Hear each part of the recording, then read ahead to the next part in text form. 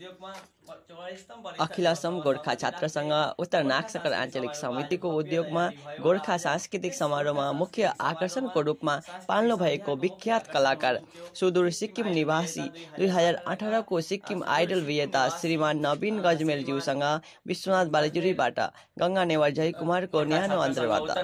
आञ्चलिक उद्योगमा चौवालिसतम वरिष्ठ दिवससँग सङ्गति राख्दै गोर्खा सांस्कृतिक समारोहको आज भव्य तयारी भयो र आज त्यस गोर्खा सांस्कृतिक समारोहमा सांस्कृतिक सन्ध्याको मुख्य आकर्षण हुनुहुन्थ्यो।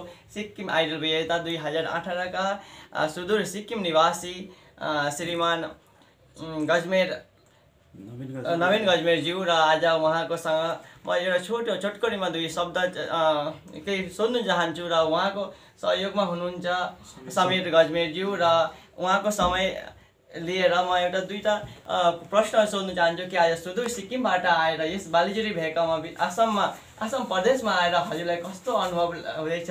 र आज यहाँ यस बालिजुरी भेकामा आएर यस सांस्कृतिक सन्ध्यालाई एकदम धुमधाम तरिकाले मनोरञ्जन गराउनु भएकोमा आज कस्तो हजुरको अनुभव छ? नमस्कार। सबैभन्दा पहिला यहाँका कमिटी गोपाल सरले मलाई निम्त गर्नुभएर यसरी म सिक्किमदेखि यहाँ आसामसम्म आएको छु। एकदमै खुसी लाग्यो। एकदमै क्राउडले एकदम यहाँको सबैजनाले साथ दिनुभयो। एकदमै खुसी छु। हजुर।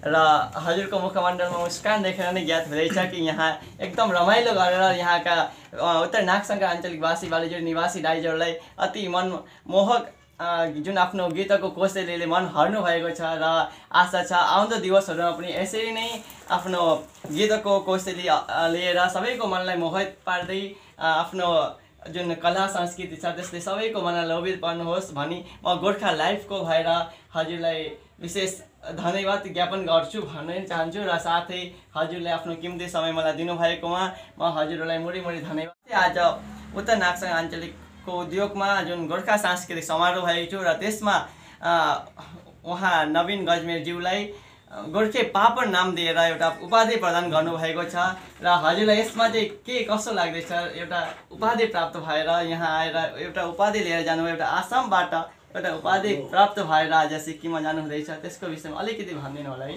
एउटा कलाकारको लागि हजुर। दर्शकको कम्ती माया नै ठुलो कुरा हो। त्योभन्दा ज्यादा आज मैले एउटा यस्तो कोसेली पाएको छु यहाँनिर आएर। जुन चाहिँ यहाँको एउटा गोर्खाले मलाई एउटा चिना एउटा नाम दिनुभयो। त्यसको लागि म एकदम आफूलाई लक्की अनि एकदमै सबै सबैलाई एकदमै धन्यवाद भन्न चाहन्छु। यहाँको सम्पूर्ण आयोजक अँ, कमिटी अनि सबै सबैलाई म एकदमै धेरै धेरै मैले मैले धन्यवाद भन्न चाहन्छु। हजुरलाई पनि धेरै धेरै धन्यवाद छ। र साथै उहाँका सहायक श्रीमान समीरज्यूलाई पनि धेरै धेरै धन्यवाद छ। हजुरहरूको साथ यसै नै रहोस् र यही आशा साथै म गोर्खा लाइफ्सको तर्फबाट उहाँलाई फेरि पुनः मुडी मुडी धन्यवाद ज्ञापन गर्दछु। हजुर। ज्ञापन गर्दछु। जय गोर्खा। जय